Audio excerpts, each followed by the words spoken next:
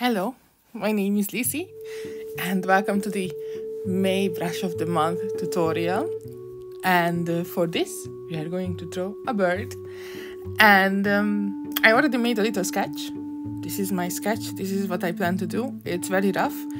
I just uh, played with colors and textures to see if I'm drawing it live, then it will good, look good and uh, how I actually want to draw it. So, I will put this sketch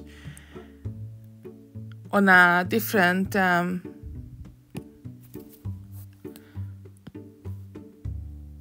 canvas. It's very early for me. You just go and uh, insert for clipboard. I'm using a really huge canvas, 6000 by 7500, but feel free to use as big of a canvas as you can. My canvases are always very large, just in case I want to um, sell it or um, put it up on my website or put it uh, up for printing so my canvases are always large and uh, keep in mind that the the brush that I'm showing you is uh, also for this kind of uh, canvas we are going to use Starshine from the Magical Storybook Toolbox. And uh, it will look much bigger on a smaller canvas.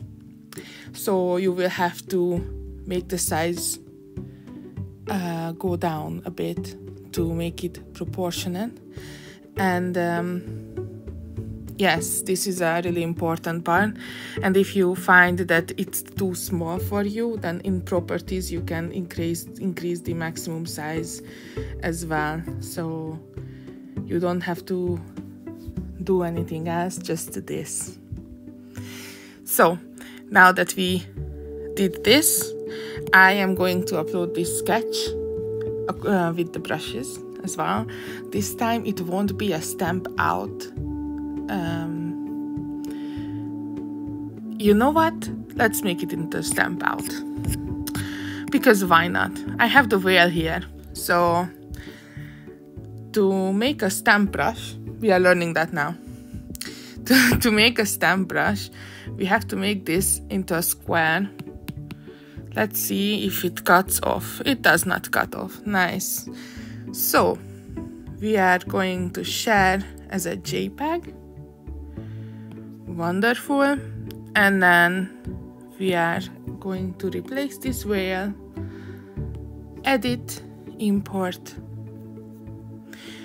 import a photo. Here's our bird. It's a sketchy bird it's gonna be a sketchy stamp. Bird. Create new reset point. So when you reset, then you will get the same bird. And then done. And now you can stamp out the bird for yourself on your own canvas. So that should be easier for you, but I actually wanted to no, no. I wanted to redraw it, but I think he looks she looks, they look. I actually didn't decide on the gender. they look cute. So, first I want to make a background layer. No, I'm sorry, it's really early for me. Let's decide on colors first because um, this is the kind of color I wanted to do in the beginning. And um, I wanted this to be the bird itself. And um, for this color, I matched this pink to be the glasses. And I was thinking to be this to be the um, little feather details.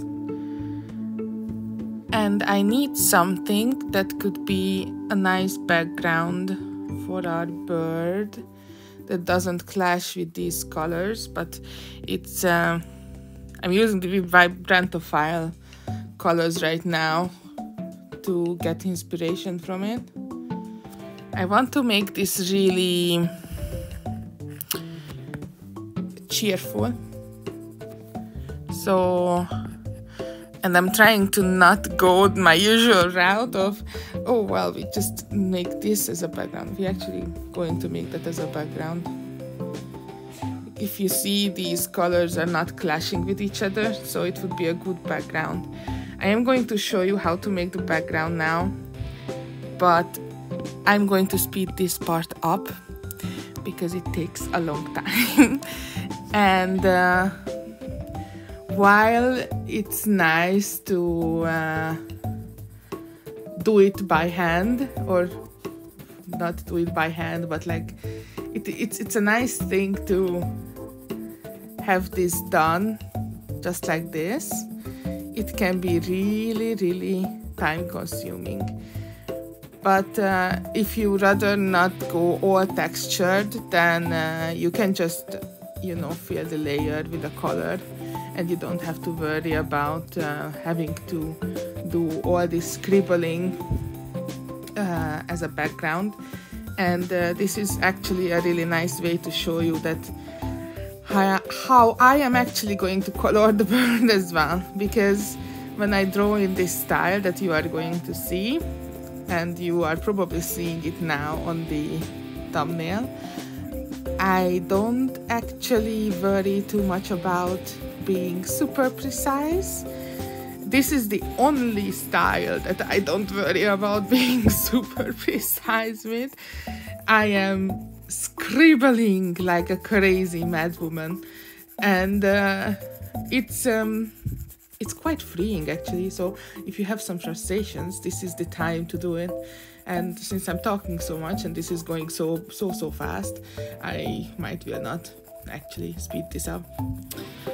Ah, I am so sorry, guys. I am my brain is like fried, and uh, I haven't had coffee yet, but I had to act very quickly because I am staying at my family and it's like really small slots when I can film for you and I have to get ready by then. Like if I'm not ready then, then it will never happen. So yes, that's my big excuse. So that yeah, please, please, please don't hate me for being so scattered in the brain. But yes, this is the idea of how we are going to uh, shade this bird as well and uh, I want you to feel how free you are with this pencil because we are going to make like kind of a children's book illustration. So I expect this bird to be a character in a children's book. And for that I want to make it a very cute illustration. Since it's from the magical storybook toolbox toolbox it's um it's cute when it looks a little bit of scribbly and nice but also this brush if you uh, make your pencil lie down like very much on the side then it makes a texture as well. So um, you can try that too.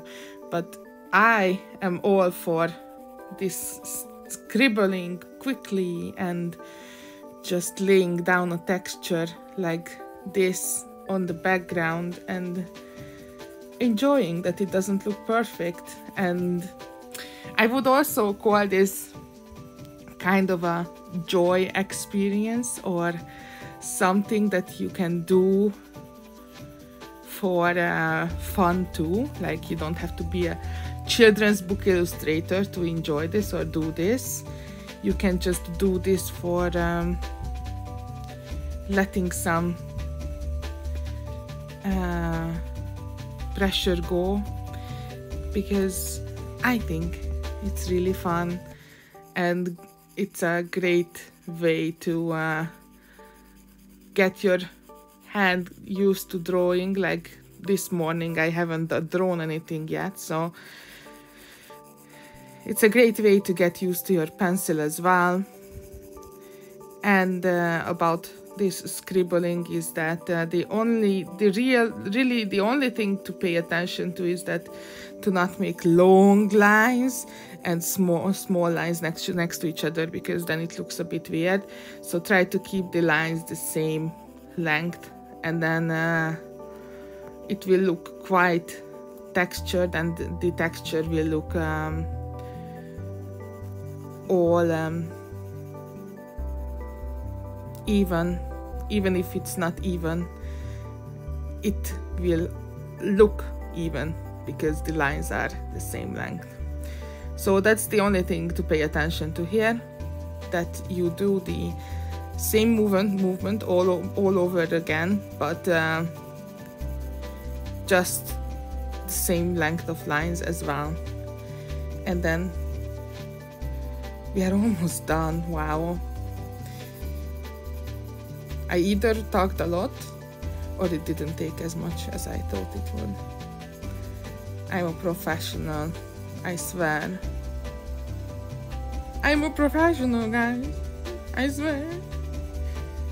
Okay, so we are finishing up. Ah, that's a cute background. I like it.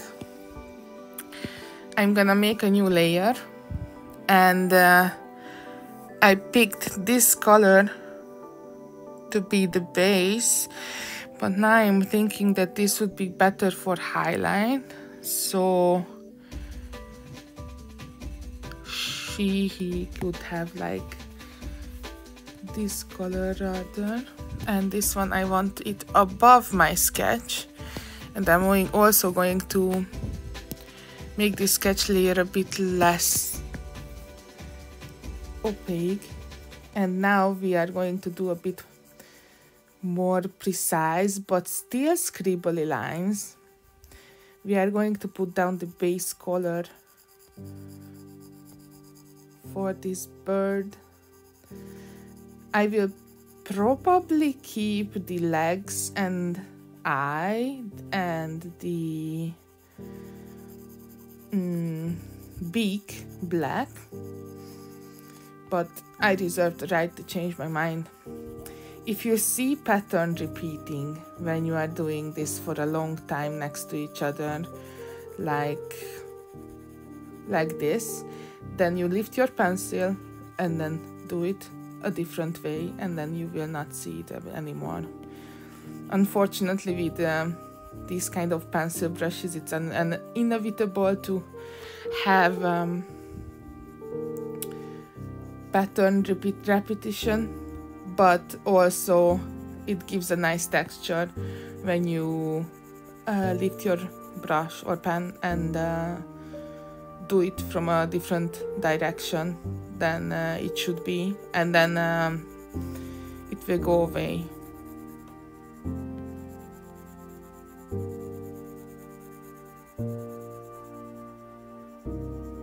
this is a really relaxing drawing it's very different from my usual drawing style of being all accurate and uh, being on top of things all the time. So, this is a really nice illustration to do. I love doing this. I didn't didn't expect that I would love doing this. I didn't uh, draw out the entire bird as a a tryout. I just uh, did the sketch and uh, I did a, a small part of its uh, chest to check colors. But yeah, this is super relaxing.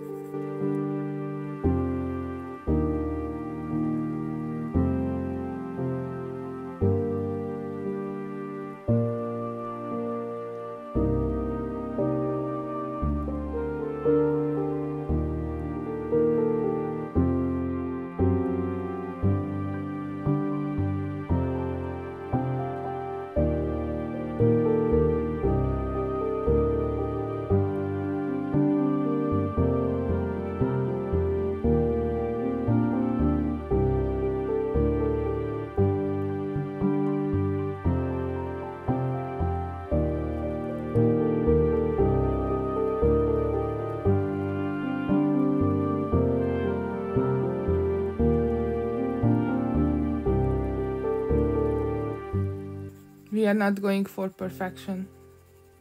This is something I keep telling my patrons as well, so my patrons know it already that we are not going for perfection. We are illustrators, which means that we are going for uh, a look that is charming, cute, and it depicts our own image or how we see the world. It doesn't have to be perfect at all. The world is not perfect, so why would our illustrations be?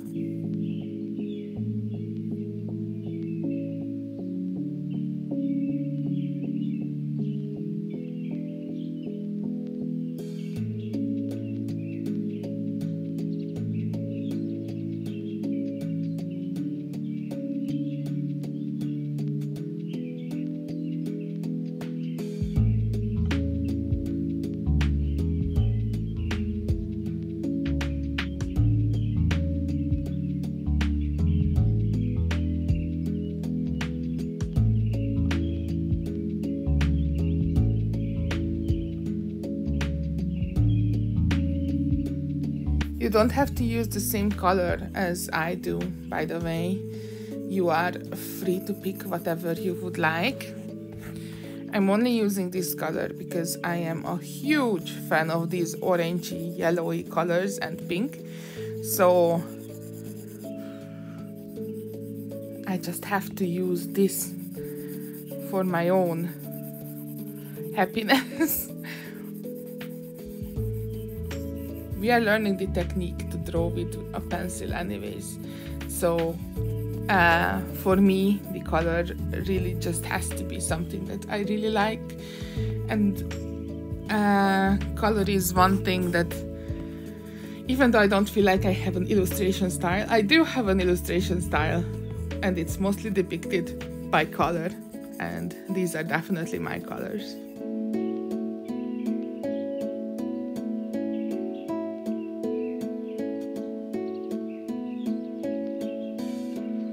I think it's cute.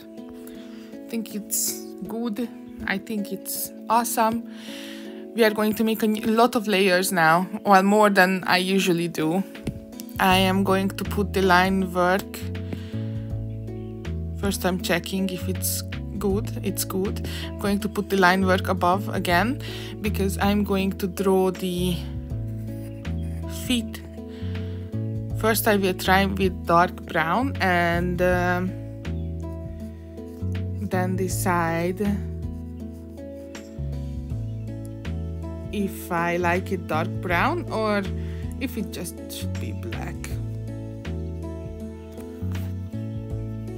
Black sounds really harsh, but uh, I use black a lot in my work uh, together with the pink that you see in the background, and um, it just I think it looks cool together. I will also show you how to change the color if it's not working out with brown. This is one of the good things about the digital illustration. You can change the color whenever you want.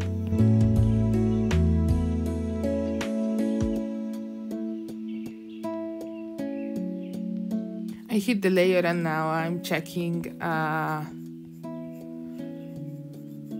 if I like the shapes and forms and uh, if it looks too doodly. There's nothing nothing wrong with too doodly, but just want a bit of perfection, please. I'm allowed a bit of perfection, right? Now we are going to go to hue and uh, see if it looks better with black. So far, I, I don't think it's better with black. So I'm going to keep this brown and uh, turn up or turn on the layer on which I have my line art and um, go to this really dark version of this uh, color that I have and we are going to start shading now.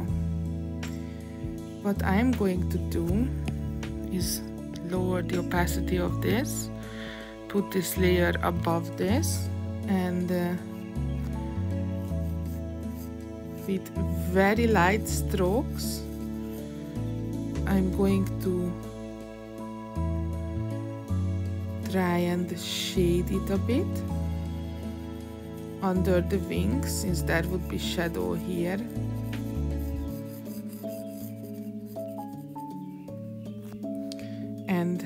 here at the feathers as well since this part would be in the shadow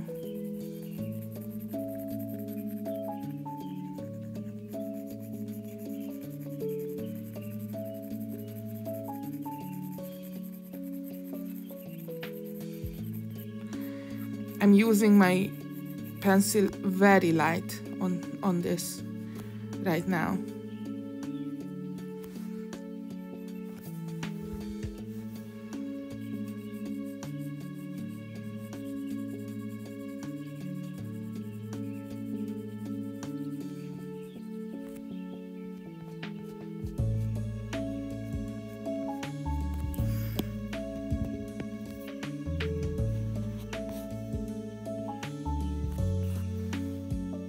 Going to decrease the size a bit for some accuracy.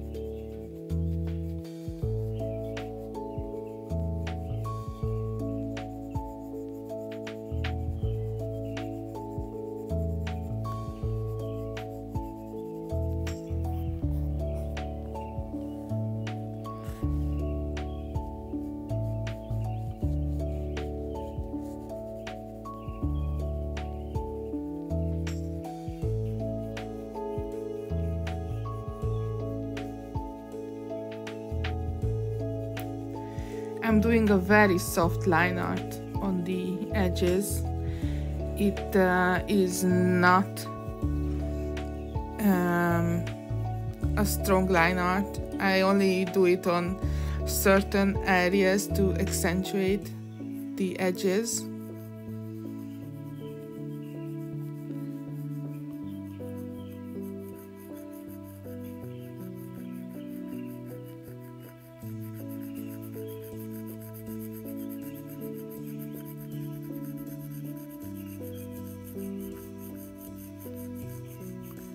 Very light brush strokes. Very very light brush strokes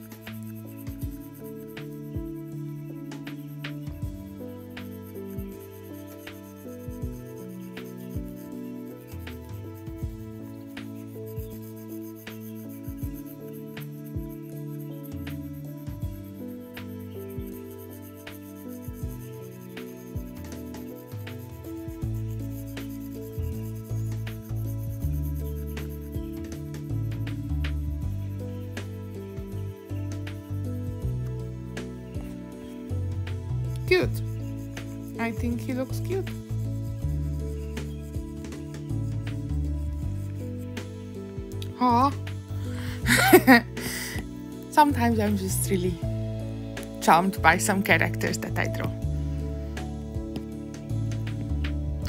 I'm going to go shade lighter and lots of saturation turn on my line art that I can't even find anymore and um,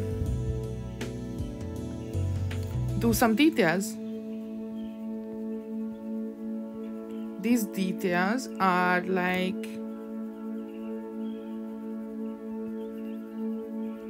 doodle details. So you don't have to overthink it. It's literally just there.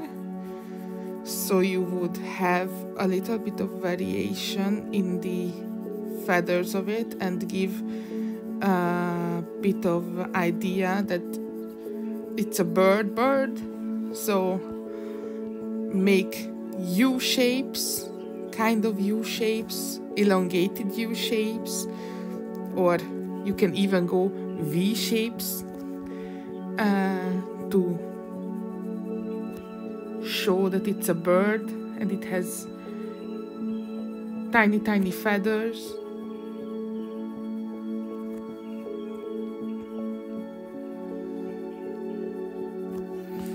Want to do this right away because I want to turn off the line art. Since the line art is not really adding much to this story here I just uh, have it as a guidance but this is the actual illustration that I have to work on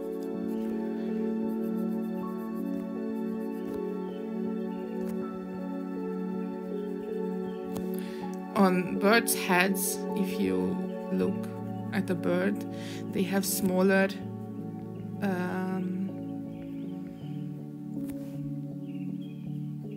feathers. Wow, now hard word. And um, so I'm only doing little lines to show that they do have feathers, but not very big ones.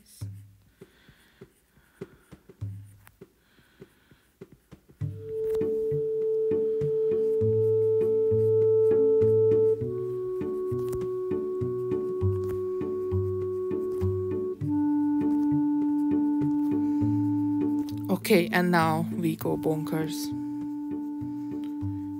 Because now we have the shape. And now we have the shadowing. And now we have the line art basically done on our bird. So now we add lots of colors. Well, not lots of colors, but we are going to add uh, variations of the base color of the bird you can go and pick up this color and then pull it to the left and up to have some highlight color.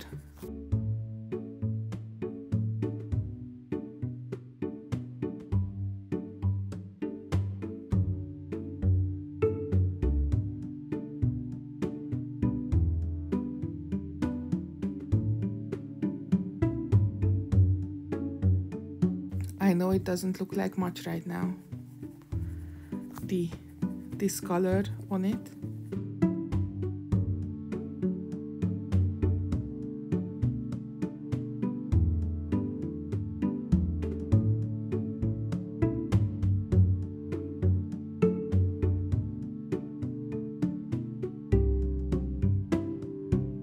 But we are going to go even lighter now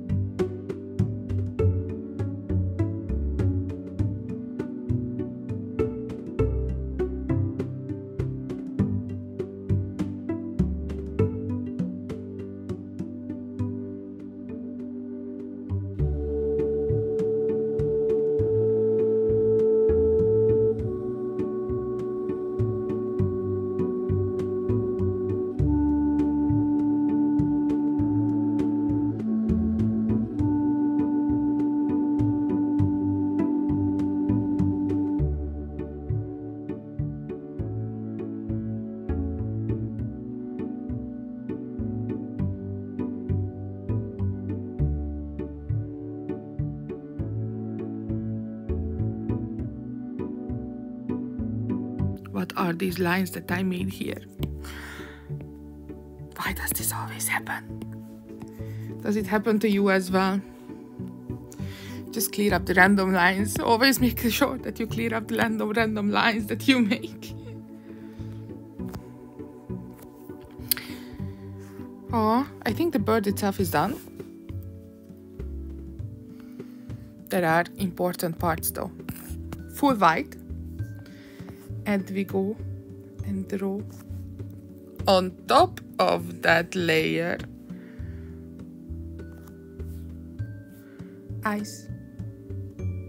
Eye highlights. And I want my bird to be a bit judgy so I will make the beak like hmm I'm judging you. And I am going to turn on my layer again and I know that I used the color from Vibrant to File to make um, the glasses so I'm going to do that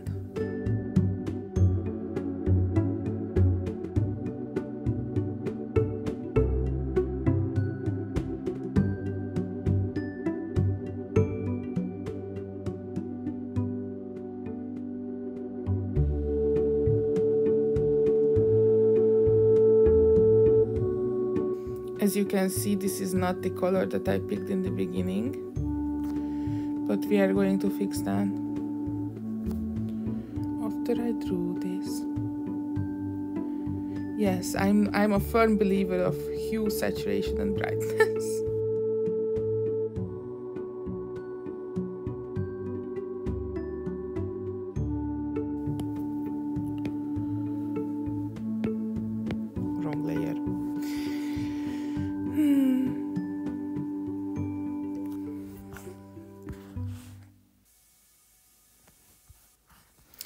It needs to be more saturated.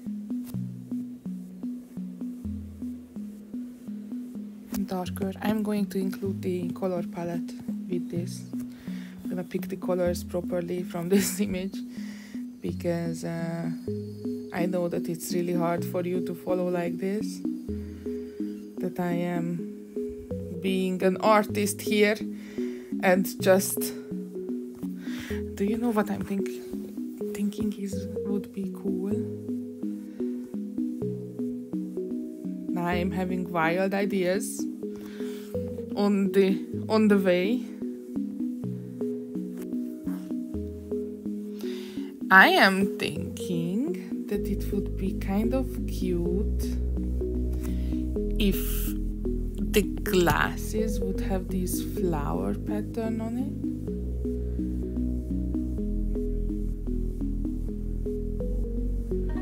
Have you seen these kind of glasses? It's usually put on kids, but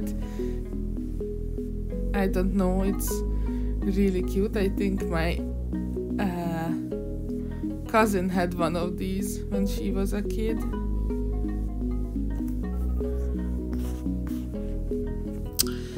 It's too thick. See, this is one, what an artist does. and this is the freedom of digital art. You can just undo it. Also, I want to um, put an extra line here to show that this is different from the glasses. I did the line wrongly there with the glasses color, so I'm going to erase that too.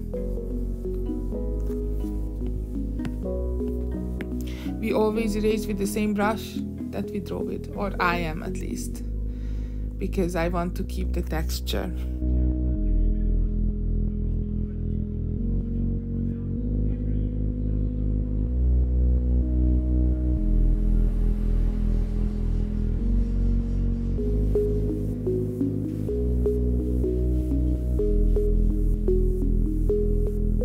The judgy eyebrow.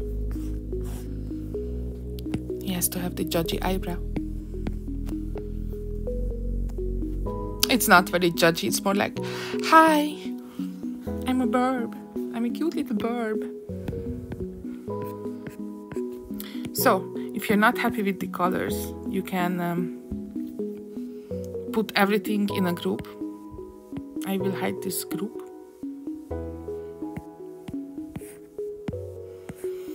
And I will flatten this I can go hue, saturation, brightness on the entire thing and I think I want more saturated actually. Just so it pops more. And then um, what else I really want is maybe some shadows, but I'm undecided on that yet.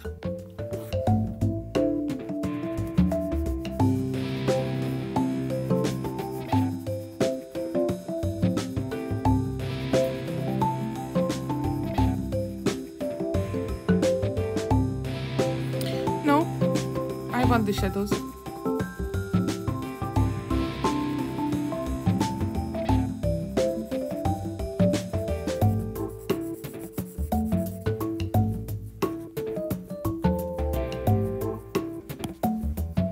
And a bit of fixage with the glasses since I changed the hue saturation brightness.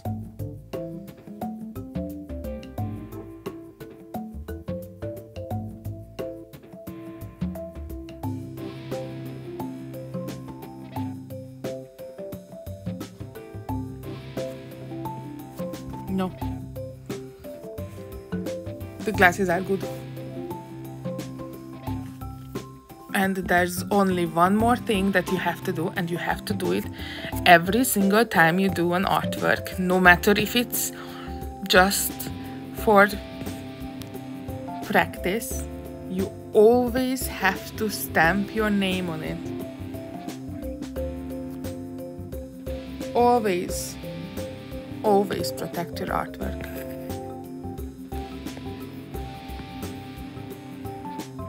And we are done.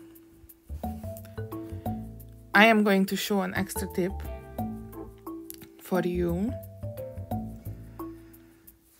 Um, I am using um, the 1998 camera as a um,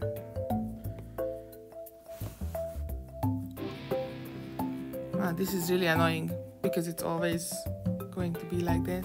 You can't turn it. But yes, I will quickly show this. Uh, you can put several filters on it and uh, what I want to um, tell you is to put some uh, sharpen and some grain on top. And that will make your artwork more uh, detailed. And that's it. I'm going to save it's basically non-filtered now because I'm using my Vibrantophile filter which is uh, nothing. I'm so sorry for the twisted. Maybe I can edit it in, in post. But yes this is the final piece. And uh, it's more accentuated than um, it is without the filter. Hope you like this tutorial and don't forget to download the brush before the 31st of May because after that the brush will be gone and you will be only able to get it from purchasing my um, magical storybook toolbox. But, but, as every month the brush of the month pack is 15% off during the month. So you can technically buy the Magical Storybook Toolbox for 15% off as well. And um, get lots of these brushes. so I hope you enjoyed this and uh, I hope you will have a lovely month. And I will see you with uh, different tutorials uh, during the month, mostly for my patrons. But um, feel free to check out Patreon. I have so much tutorials that And um, yes, thank you for watching. Thank you for spending this time with me. And goodbye. Beep! I'm back because I realized that I want to make you a little extra tutorial for um, how to edit your brush. Uh, if it's too big for you or too small for you, since um, maybe you are not able to use that big of a canvas than I do. So I'm going to show you how to get the best effect if you have a smaller canvas. So let's go for the standard one, which is 3000 by 3000 in Procreate, I would say. Uh, you can use around this 10%, I will make a mark on it, so I will upload it like this. But when you look at the texture, it's uh, a bit different now. So what you can do is um, go to grain and scale the texture down to around 10% maybe. Test. Amazing. So you can scale the texture down to 10% and then it will be good. Uh, it was originally on 19. so, um, this is 3000 by 3000. If we go 2000 by 2000, which is also I heard people use those who have smaller iPads or do smaller animation or drawings. You almost want to use around 6%. I'm going to mark the 6% as well for you so you know. And uh, you also want to scale down the grain to around 8% ish to have the same effect as I did in my big drawing. And as I said, originally it's 19. And uh, one more size that I that is really common I want to show you, and that is 4000 by 4000. Let's see if I find it. I found it, nice. And obviously that will need bigger than the 3000 by 3000. Let's see if this is good. It's good. And uh, the texture should be around, I would say 15. Let's see yes around 15 is good. So yes that's it. It's just a very quick um, update or addition to what I do and now you can use it for uh, for your own uh, illustrations as well. So now you see what I mean these are the 4000 one, that for 3001, and the bottom one is for 2001, and I am using it up here for the 7500 times 6000 canvas. So I hope this will help, and this is really the end of the video. Bye!